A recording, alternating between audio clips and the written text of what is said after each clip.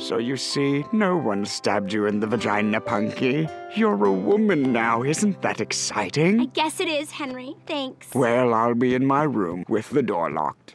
I thought he'd never leave. Ready for another magical adventure? Um, not today, Glomer. Don't you want to look for rainbows in the marshmallow clouds? Ah, I'm not a little girl anymore, Glomer. Maybe I just want to go to the mall. Can I stay out here? It's dark in the closet. Hide in your closet, Glomer. Oh my god. And did you see how Ricky looked at me?